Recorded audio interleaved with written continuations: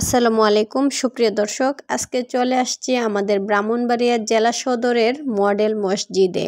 ভিডিওটা না টেনে দেখতে থাকুন, মডেল মসজিদ সম্পর্কে বিস্তারিত তুলে ধরব। ব্রাহ্মণবাড়িয়া জেলা সদরের মডেল মসজিদের কাজ পুরোপুরি শেষ হওয়ার আগেই উদ্বোধন করা হয়েছে। ব্রাহ্মণবাড়িয়া জেলার সদর মডেল মসজিদের উদ্বোধন করেছেন প্রধানমন্ত্রী শেখ হাসিনা।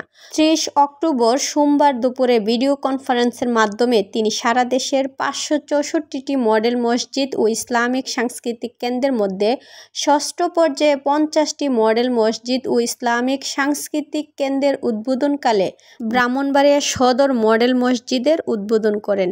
এ উপলক্ষে সদর মডেল মসজিদের হলরুমে উদ্বোধনী অনুষ্ঠানের আয়োজন করা হয়।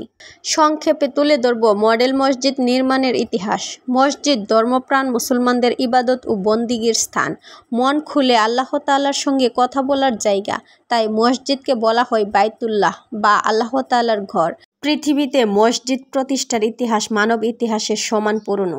পৃথিবীর প্রথম মসজিদ কাবা শরীফ। আল্লাহ পাকের নির্দেশে এ মসজিদ নির্মাণ করেন প্রথম মানব হজরত আদম আলাহিসাল্লাম পবিত্র কুরআনে এ মসজিদ প্রতিষ্ঠার উল্লেখ রয়েছে।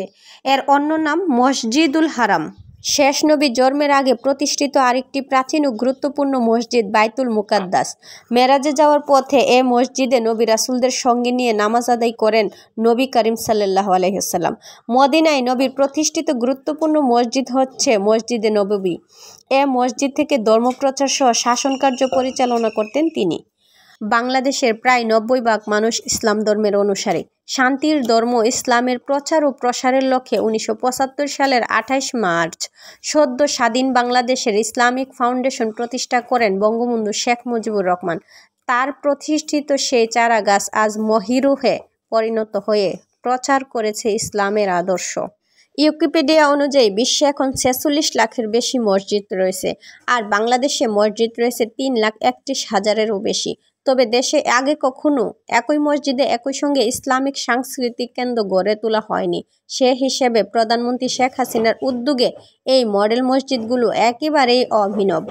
ধর্ম মন্ত্রণালয়ের তথ্য অনুযায়ী দেশব্যাপী চৌষট্টিটি জেলা সদর ও পাঁচটি সিটি কর্পোরেশনে উনসত্তরটি চারতলা মসজিদ ও ইসলামিক সাংস্কৃতিক কেন্দ্র, চারশো পঁচাত্তরটি উপজেলা সদরে সমসংখ্যক তিনতলা মসজিদ ও ইসলামিক সাংস্কৃতিক কেন্দ্র এবং উপকূলীয় এলাকাগুলোতে নিচতলা ফাঁকা রেখে ষোলোটি চারতলা মসজিদ ও ইসলামিক সাংস্কৃতিক কেন্দ্র স্থাপন করা হচ্ছে।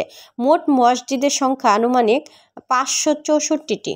ধর্ম মন্ত্রণালয়ের মতে দেশ জুড়ে পাঁচশো চৌষট্টিটি মসজিদে চার লাখ আটচল্লিশ হাজার আটশোশো জন পুরুষ এবং একত্রিশ হাজার সাতশো জন নারী পুরুষ একই সময়ে একই সাথে নামাজ আদায় করতে পারবেন। আসসালামু আলাইকুম।